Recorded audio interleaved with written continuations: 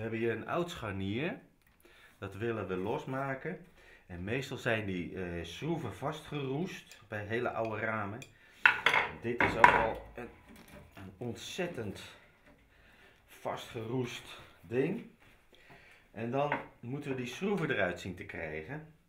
En als het vol geverfd is, dan doen we met de priem dat even schoonmaken.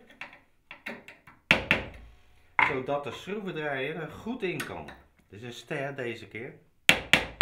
En om het roest los te krijgen, slaan we heel hard en op de schroef. Dat heeft twee functies. Dat je goed in het gaatje terechtkomt. Dat hij goed weerstand krijgt straks.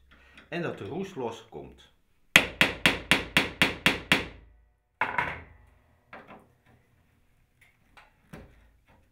Kijk, dan schiet ik er al overheen. Maar ik moet natuurlijk oppassen dat hij niet kapot gaat, anders krijg je hem er nooit meer uit. Deze gaat los. Kijk, is die eenmaal zover?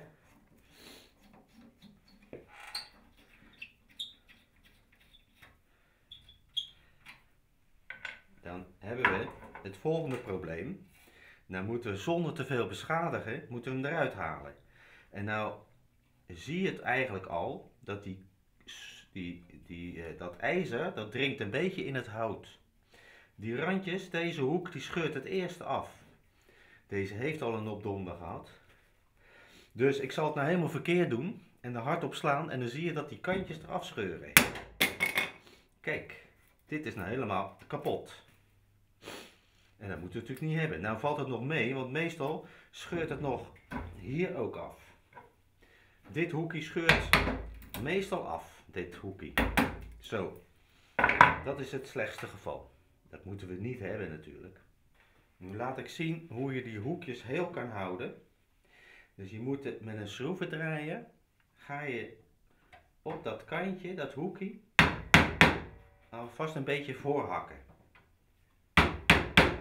Dat hij daar niet achter kan haken, dat het kapot maakt.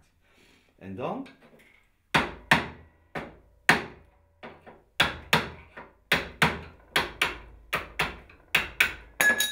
En zo is die netjes.